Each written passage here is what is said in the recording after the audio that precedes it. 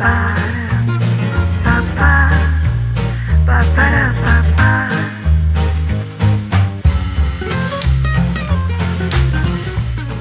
everybody, welcome back to my studio. This is Emma, and if it's your first time visiting with me here, you're most welcome. It's lovely to have you here as well.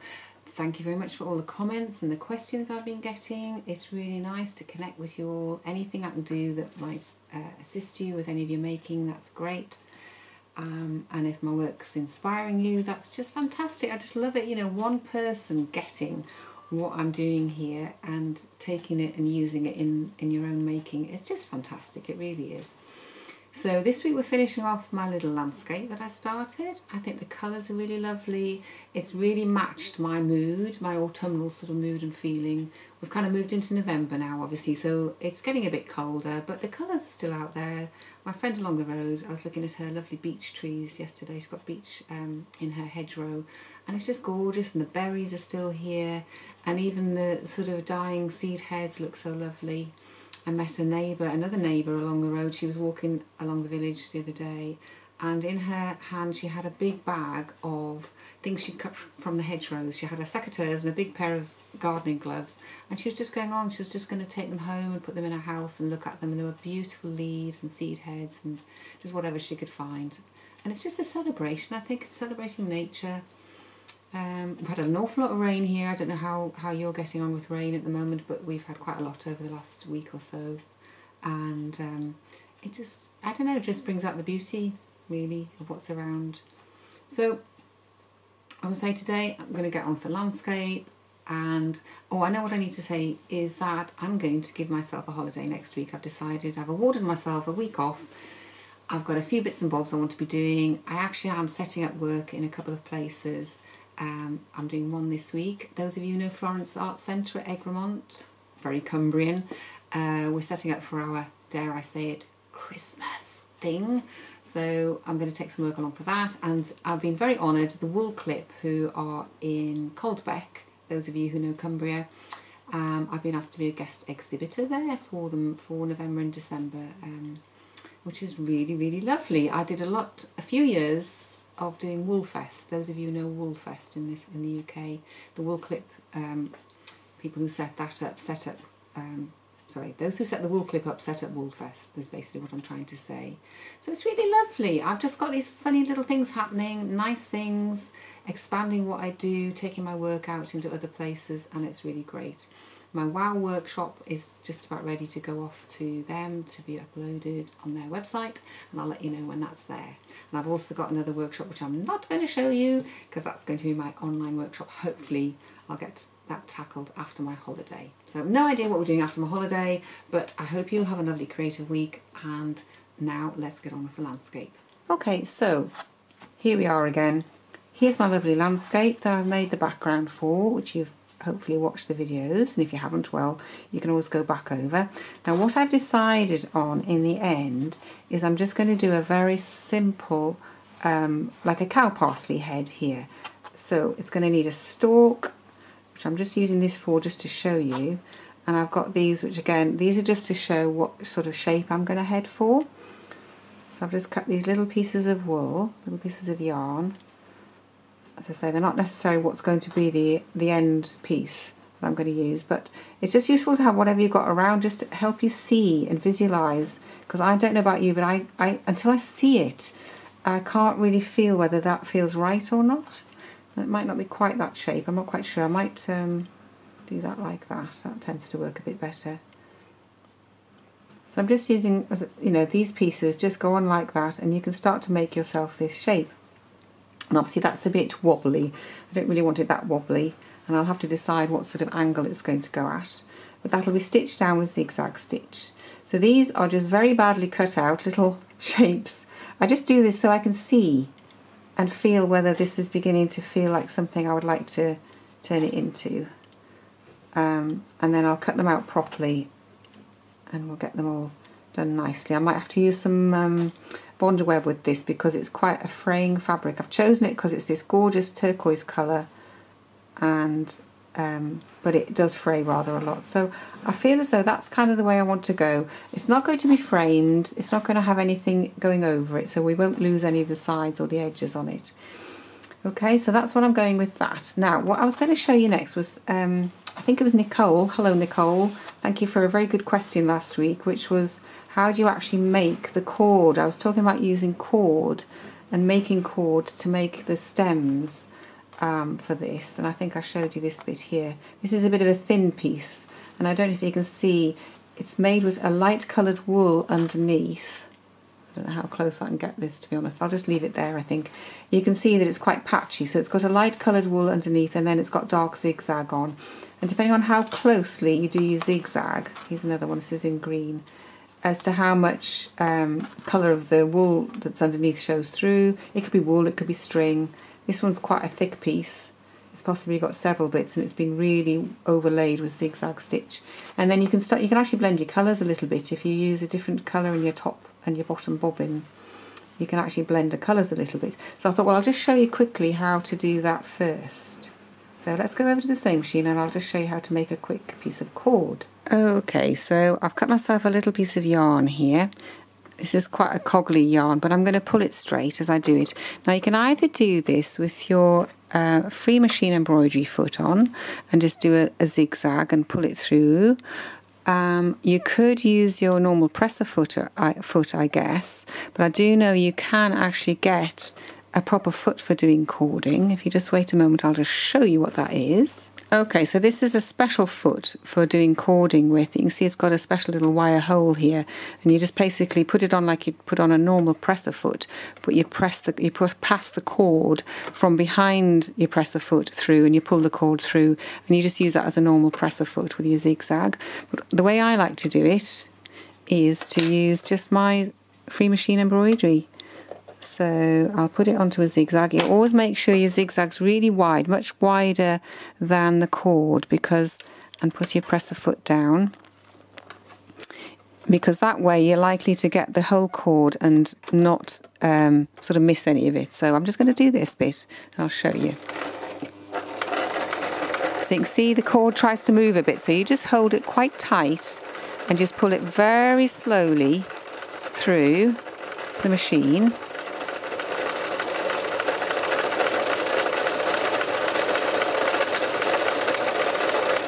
slow process. I'll just lift that up and show you what that's done.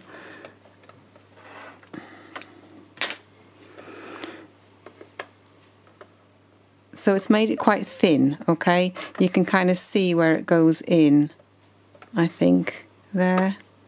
So basically you're just doing, that's all you're doing, you're just zigzagging the piece of cord and you're pulling it through, letting the machine do the work.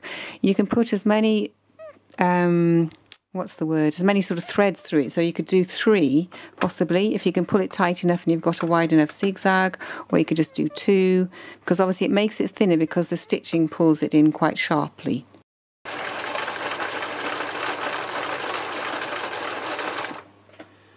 The trick with doing the cord is to hold it quite close. Can you see my fingers are really quite close to the presser foot here because that gives you control over the cord it's a very slow process actually. You can't rush it because you're likely to snap your thread and all sorts of horrible things happen.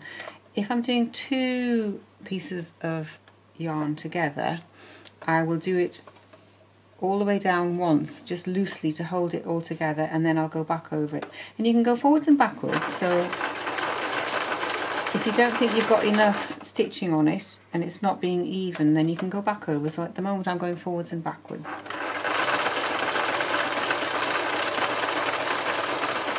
Of get to there and then I move my back fingers down a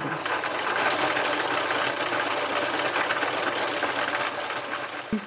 So here we are. Now I have made my lovely cord here.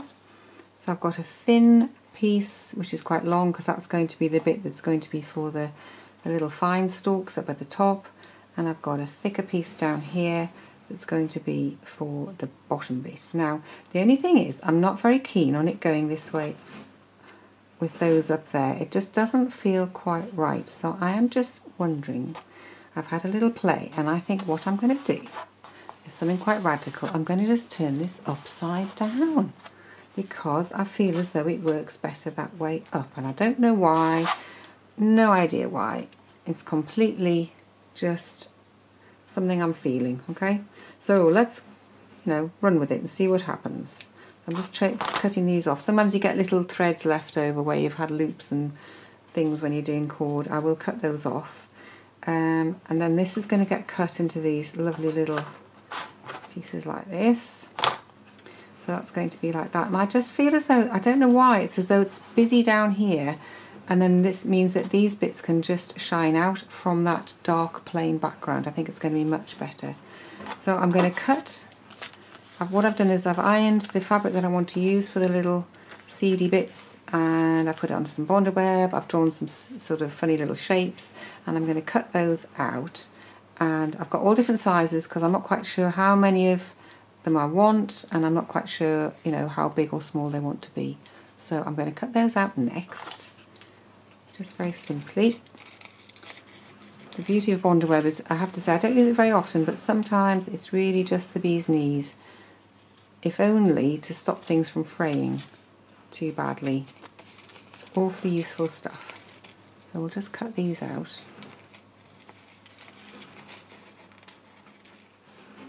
And of course you can do this, you can cut shapes out. And they'll stay that shape.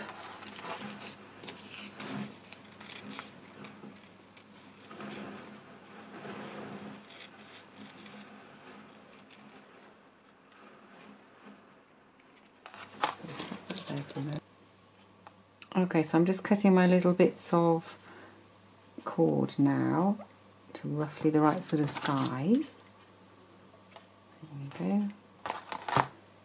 And what I do is I tend to sort of overlap them like this so you get a feeling that they're all joined together.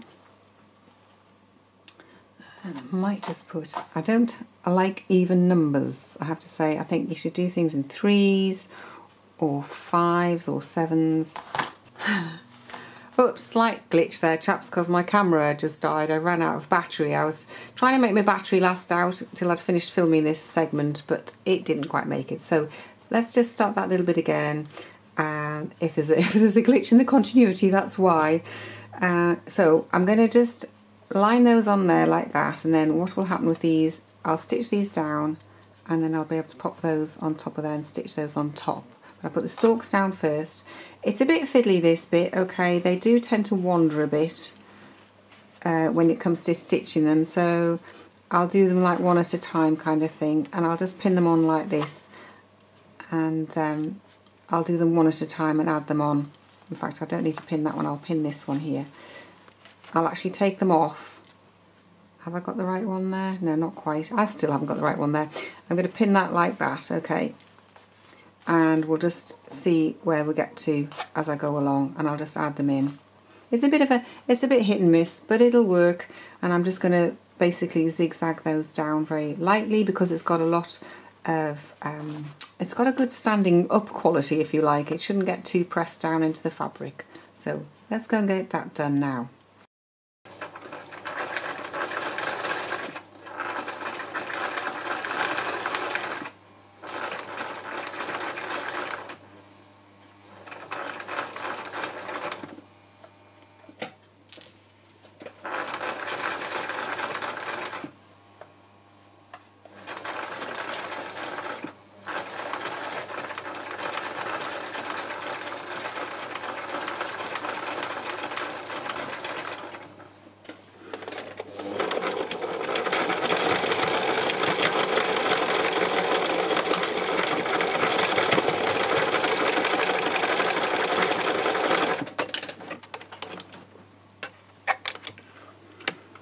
Beauty of this is you can just move from one thing to the next. And you can see I've done all of those round there. It's just a bit of slow stitching and I'm just going to go going round and round just because I feel that's what it wants. So, you know, that's how it goes. But you can move, as I say, you can move from one to the next one by lifting up your presser foot. Make sure it's down for the next one. Just take it slow, go around.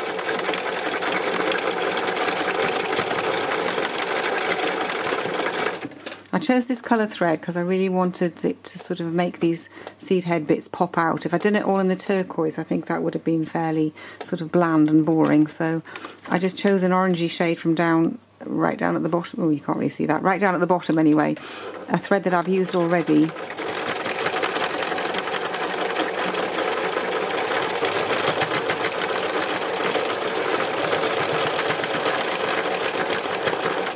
And there's never a right way or a wrong way to do this. You just do, you know, what pleases your eye. So I think I'm going to just get all the threads snipped off and cleaned up and then I'll show you it as the finished piece. Okay, so this is it finished and I'm really quite pleased with how it's turned out. You never quite know as you're going along. Uh, there's a bit of trepidation because you never quite know how it's going to turn out. Um, even if you plan it to start with, I think there's still possibilities can come along as you go along. The interesting thing I think was turning it upside down so that the brown is at the top and somehow it allows these just to shine out. I think prior to that I had all of this busyness going on in one place and it was a bit unbalanced so it's like we've got a nice interesting foreground down here now and then the seed heads as I say can just shine out. I think the other thing was deciding not to do turquoise thread going around the, the tops of these seed head bits here actual seedy bits. Um, that would have been fine, it would have been safe, it would have worked, but somehow it just wasn't exciting enough for me. you know, I like to live on the edge here. Um, so I actually I decided I looked at I looked at what colours I could use. I thought about reds. I thought all sorts of different colours, and then I thought, well, actually, I'll choose this sort of gingery slightly uh, orangey colour that I use down here. And it's great because it just makes those shine out. As I say, it's a little bit of a risk, but I think it's quite nice. It makes them look quite light and bright at the top there and you can really see them. And then it's balanced by this bit down here. So, I don't know what you think about this. I don't know what you think about me turning it upside down. What, a, what an outrageous thing to do. Um, but I have to say, I've really enjoyed the process. It's been really cool. Oh, I forgot to say, this is how I decided actually as well. I always make a little sample. If I'm not sure what it's going to look like or if I'm going to like it, I made a tiny little sample here so I could hold it up and go, oh yeah, that is okay, that works, okay? Really worth doing. Just ever so tiny, bits of scraps. So there we go, another lovely project finished and I hope you've really enjoyed watching this. I've really I've really enjoyed myself doing it. It always takes me on a journey. I never quite know how it's going to turn out and that's where the excitement comes in. Um, so I don't know what's next, um, except as I say, I'm going to have a week's holiday next week because I just think it's time for a bit of downshift. We've had an awful lot going on here. We've had the builders in and they're still in, and it's now November and things are just, you know, changing all around us. So I'm going to have a week off next week, and I hope you'll have a nice week doing whatever you're doing. And I will see you again very soon with who knows what's next. So thanks so much for watching. I really appreciate you being here. Bye for now from me.